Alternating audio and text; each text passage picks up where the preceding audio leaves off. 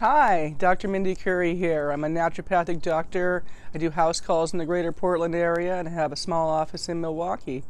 And I'm here to tell you today um, to do an update actually on the ginkgo biloba tree. You see, it's, uh, it's fall, it's November, and there's a hint of yellow popping up on the tree, which is my cue to harvest the ginkgo leaves that I need for the medicine I make. Um, and that is in another video. You can look that video up. Um, this one's going to be a little bit different since it's my yearly harvest of the ginkgo. I am also, I like to take a moment to look at the literature and uh, see what kind of science has come up um, in the last little while, and I found a really great review article um, that discusses just the wide range of research on how ginkgo relates specifically to inflammation, and uh, it's a pretty good one. So what I'm going to do is I'm going to go over there and pick the leaves off the tree, and I'm going to voice over a discussion about this interesting review article I'd like to share with you guys. So maybe you'll learn something and to get a little bit of uh, harvest enjoyment. Um, see you around. And okay, it looks like I'm getting ready to go and pick the leaves off that tree. And since this is a repeat video, I've already done this topic before, kind of basically the same thing. So I, this time I'm going to voice over instead and talk about this real interesting review article I found called The Effects of Ginkgo biloba on Diseases Related to Oxidative Stress. And this is uh, authored by Gabriela Achete de Souza, and she's in the Department of Biochemistry and Pharmacology in the School of Medicine in the University of Marília in Mar- uh, Sao, Sao Paulo, Brazil. So this is a Brazilian review article, and basically what they did is they wanted to investigate the effects of ginkgo biloba on diseases related to oxidative stress, and um, basically how uh, ginkgo biloba can regulate the expression of antioxidant enzymes um, in your body, and it also can reduce oxygen, re- reactive oxygen, oxygen. Blah, blah. it can reduce reactive oxygen and nitrogen species, and those um, can peroxidize lipids. So it's basically talking about the anti-inflammatory properties um, of ginkgo biloba and how it can inhibit the expression of pro-inflammatory cytokines. Um, and they used uh, in this study, in these studies, they studied, they went through the literature and found quite a number of studies, and were able to um, look at a variety of animal models and even some human studies and they found that ginkgo biloba has uh, positive effects on brain damage, neurodegenerative diseases, uh, heart disease, liver um, and kidney damage. Uh, it can be positive for diabetes, metabolic syndrome, um, ischemic colitis, and a lot of times this is due to compounds such as uh, the bilobalide, ugh, these are big words, isorhamnetina, quercetin, kaempferol, and ginkgolides A, B, and C. Those are kind of what a lot of these studies had looked into. So it's pretty interesting what they found here. In this review, they used uh, Medline and PubMed and NIH and other databases to look at studies from March but from May 2013 to October 2019. Um, and it was basically their search was looking for diseases related to oxidative stress and studies that were looking at that. And in the end, they found and decided to do the results for 54 studies that they found. And most of these were performed on mice, but there were some human studies as well. And all of these research studies were from universities and healthcare centers. So, pretty good sourcing um, through the literature to find the information for this review. So, oh, interesting facts about ginkgo biloba. Ginkgo biloba belongs to the Ginkgoaceae. Ginkgo, ah, I hate this word. Ginkgo biloba belongs to the Ginkgoaceae family, and it's one of the oldest living species on the planet. And the leaves and seeds of these plants have been used for medicinal purposes in China for centuries. Um, initially, they were using it mostly for asthma and digestive problems, but uh, it's come over here since the 60s and it's now being used in Europe and Asia and all over the world. And uh, they've found a bunch of research on it, and they've summated it into some really good stuff that I'd like to share with you guys. Going to be kind of long-winded, but um, let's see. One thing about ginkgo biloba, its extract, it's uh, well known for its neuroprotective activity so it's often used for memory improvement. And this, they're finding, is probably definitely related to its antioxidant properties and the regulation of oxidative stress in even your brain tissues and nerves. So that's really interesting. Um, oxidative stress can lead to um, your fats, perox- peroxidation of your fats. It can lead to oxidation of your proteins DNA mutation, damage to nerve cells, and um, general neurological disorders from too much oxidative stress they found. And so this ginkgo biloba helping to remove that oxidative stress can really alleviate some of these pathologies that go along with that. Now, one of the great things that this review article did was it took all these different um, studies and it made a chart kind of with the results that they found. So maybe I can go through that a little bit quicker. So they're talking about, I'm looking at this table of diseases related to oxidative stress and inflammation. So now I'm just going to talk about different diseases and what these different studies kind of found, just going over the literature a little bit. So for neurodegenerative diseases, this study on rats and also some some human studies on people who are older than 75 years old, they found that there was uh, using the standardized ginkgo biloba extract increased the mitochondrial functions and had a protective effect due to action as a free radical eliminator. So people had actually improvements on the Wechsler scale of memory and it improved cognitive and motor functions. So this might be something you want to use, and they're suggesting it needs to be looked into for treating Alzheimer's disease and Parkinson's and other neurodegenerative diseases. Uh, so the next uh, next part of the table talks about brain damage. This these studies were all in rats, and the research found that the ginkgo biloba had a protective role against uh, the loss of um, oxygen and blood flow in the brain, basically cerebral ischemia. And it was also helpful studying, or I said stimulating angiogenesis, so um, increasing the growth. So, next we're going to talk about the heart or myocardial injury. These studies were done on rats. And those are some dogs. Okay, so we're back to talking about myocardial injury. And these studies were done on rats, and basically they found that there was a significant reduction in cardiac enzymes, um, and the heart attack areas were significantly decreased, and they had much better glucose, LDL, cholesterol, and triglyceride rates than animals that had not been given the ginkgo biloba extract. Uh, the next studies summated were about pulmonary disease, and these were also in rats. And basically, they found that there was improvement in in pulmonary lesions. They took these rats and they made lesions into their pulmonary system, through, um, and that these lesions improved quicker and had better signs and symptoms of when given a standardized ginkgo biloba extract.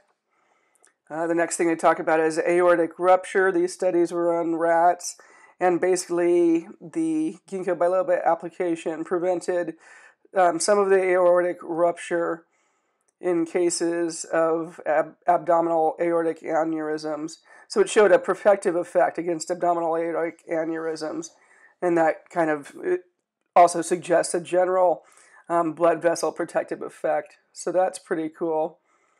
A lot of times with rats, unfortunately, they, they cause problems and then see what helps. Um, probably something like that if you read the this whole um, article, it has a very big, long section where it describes each of the studies in much more detail.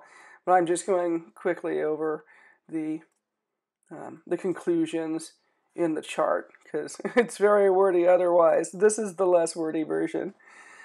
Okay, so on to neuronal lesions, and these were also done in rats, and they found that when they caused uh, lesions by taking away the oxygen, um, but the the ones with the ginkgo biloba had improvements of these lesions and had less less uh, popped cells, basically.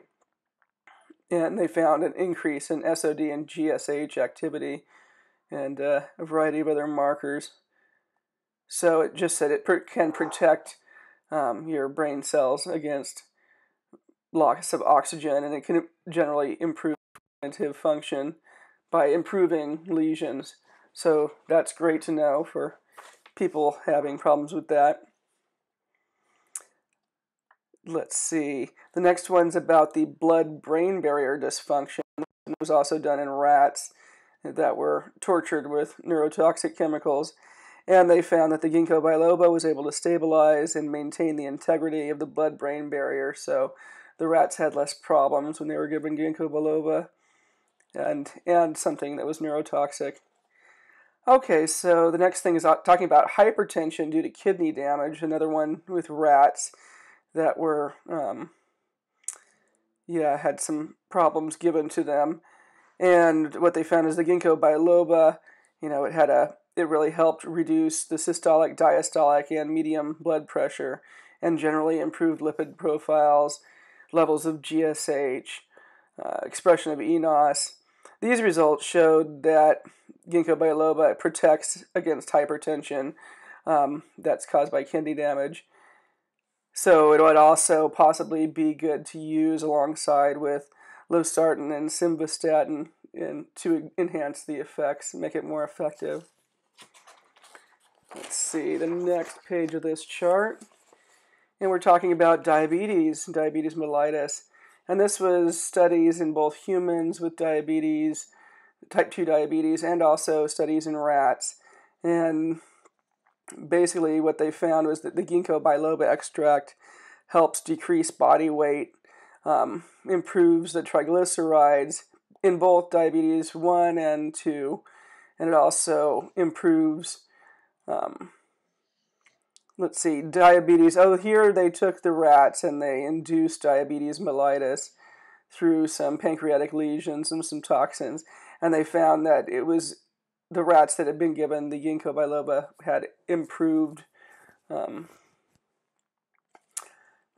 so basically, this talks about how ginkgo biloba probably has anti-inflammatory effects directly onto the pancreas and that can help reduce blood glucose in diabetes mellitus 1 um, that's been caused by this toxin.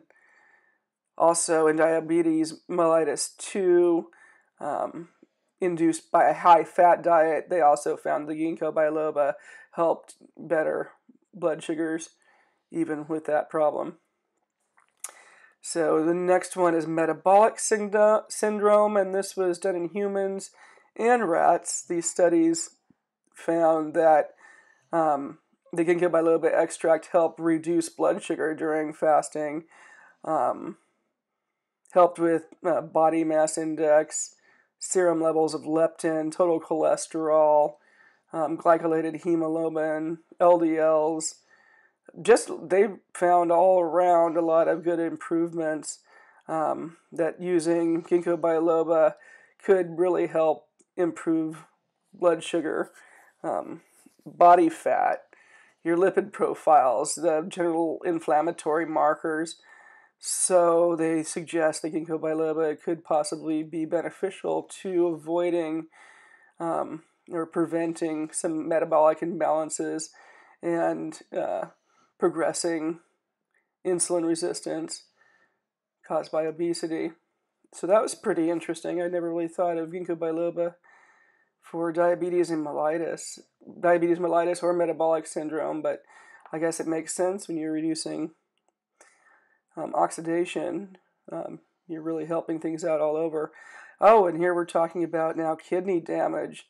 And these studies in rats, they found that um, when they caused kidney damage to these rats, that the ones that got the ginkgo biloba had less inflammatory markers and less uh, less cell death.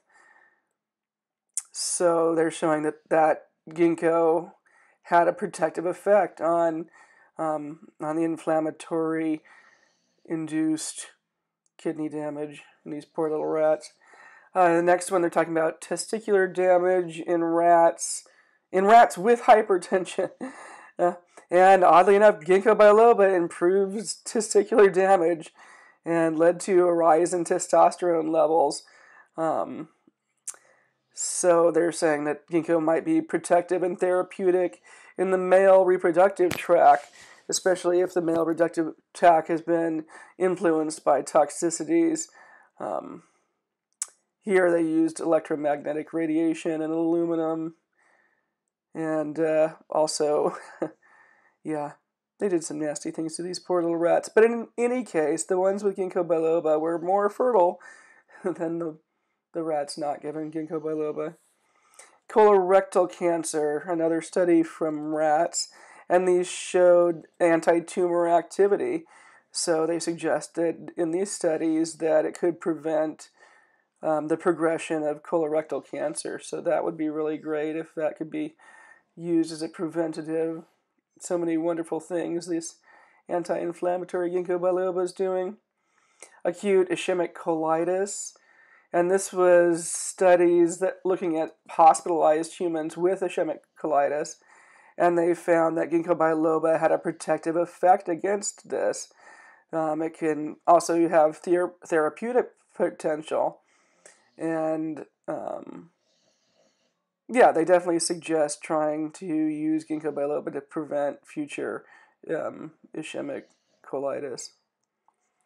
Cataracts, the studies were done on rats, and they found that ginkgo biloba helped treat cataracts and reduce um, reduced the formation of cataracts a little bit, slowed down the progression of cataracts in these rats. So that's fascinating. And let's see one more page here, just a few more.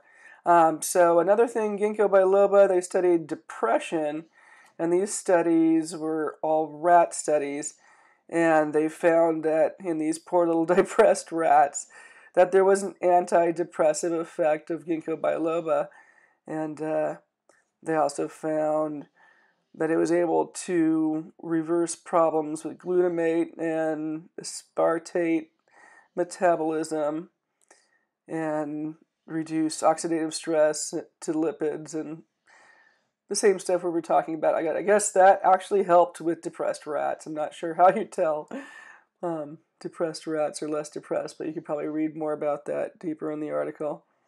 Hearing loss. The studies were done in rats again, and the ginkgo biloba actually protected the neural tube cochlear cells um, by reducing oxidative stress so basically, it prevented um, hearing loss related to oxidative stress. And you probably don't want to know what they were doing to oxidatively stress these poor rats. Okay, and here's the last thing they they were studying is uh, med- ischemia in rats, and they found that ginkgo biloba had a protective effect on on these uh, tissue lesions um, caused by ischemia. So, weird things, a lot of weird things studying rats, but they found so many amazing protective effects that it really suggests that ginkgo biloba can uh, really help a number of things. Let's see, what else does this study have? It talks a bit about the um,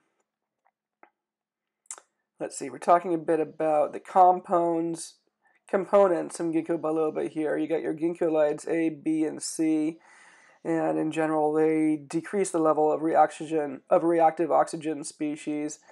Um, they can uh, impact or reduce the release of LDH and a variety of other pathways and things are also influenced by that. There's kaempferol, and uh, this can, interestingly enough, one of the things that I find interesting in this is that it can inhibit the serotonin degradation by MAO. So maybe that's one of the reasons the rats were less depressed. Fascinating stuff here. Also influences a variety of other proteins and looks like genes and helps eliminate free radicals just with the kaempferol. Quercetin is another component, and that looks like it inhibits also the degradation of serotonin by MAO, so more of that antidepressant effect there. Uh, also decreasing lipid peroxidation and uh, eliminating free radicals and activating and deactivating various other things. Okay, and then billow, ooh, bilobalide, um, and that is able to decrease reactive oxygen species, uh, reactive, excuse me, that's able to decrease the expression of reactive species caused by hydrogen peroxide. And yeah, basically inhibits degradation of of membrane phospholipids. Um, looks like it has uh, increases cellular proliferation of neurons in the hippocampus. So that's been found to have some interesting effects. Isohamnetin is the last thing in this little chart here, and it talks about how that decreases cellular death and fragmentation of DNA and stops cells from apoptosis, basically cell death, um, and a variety of other things involving liberation of cytokines and activating different proteins and genes. So, boy, these components are, are pretty fierce, so you can see why they would be having effects. So, basically, in all the studies of this review, it was also ver- um, possible to verify that there was no significant adverse effects by the use of ginkgo biloba itself. I'm sure all the things that they were doing to those poor rats wasn't good and probably were bad, but the ginkgo biloba didn't seem to make anything or anybody worse. Um, so their conclusion was that ginkgo biloba, as well as its extract, has beneficial properties for promoting and managing health because of wide ranging anti inflammatory and antioxidant properties, and that many diseases that are caused by oxidative stress and have reached epidemic proportions worldwide. So it's really necessary to find accessible and effective alternatives uh, that may be affordable and have, can help actually minimize risk factors for, for several of these diseases and possibly even contribute or be used as an adjuvant to treatment. So they're really saying that from their research, it looks like ginkgo biloba can be helpful in a variety of disease states. Now, it is to be noted that at very high concentrations, um, ginkgo biloba has found to be slightly liver toxic, but at all lower and more normal doses, it seems to be very beneficial around everything. So, like so much in the world, dose dose, dose. Don't dose too much. Dose the right amount and it'll be helpful. I mean, you can drink enough water to kill yourself, so you can take too much ginkgo biloba, but if you don't take too much, it's probably going to do you good. And that's the conclusion I come up with from reading these fascinating um, review of these 54 some, I believe it was, articles. Yeah, okay, it was a review of 54 studies in the end, done by these Brazilian researchers. Uh, I thought it was fascinating and I just wanted to share it with you, so I hope you found it fascinating too. And if not, well, then you've got my little pretty pictures flashing around in the background to watch. so let's uh, let's call that that.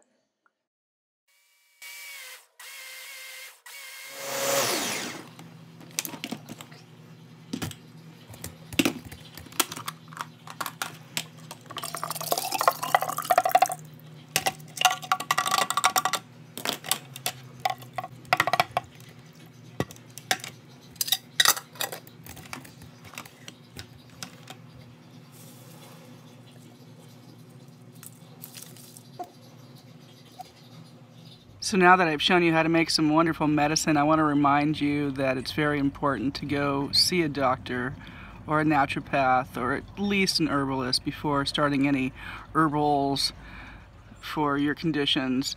For one thing, you may not really understand what your diagnosis is. You may think it's just a little bit of this and that that can be treated with some plants when it's really something serious and you're missing it and it could could be fatal.